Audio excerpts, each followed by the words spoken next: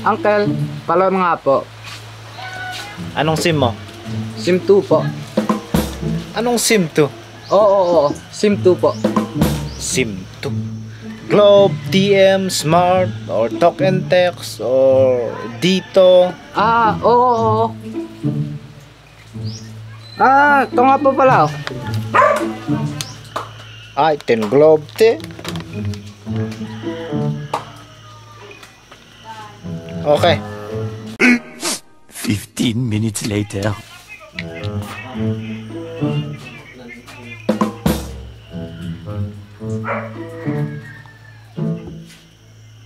May bibilhin ka pa?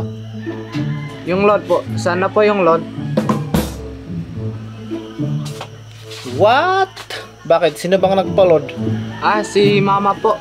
Saan ba si mama mo? Nasa bahay. Ah, so andun na yung load mo sa bahay niyo. Paano? Kalaman, magawid.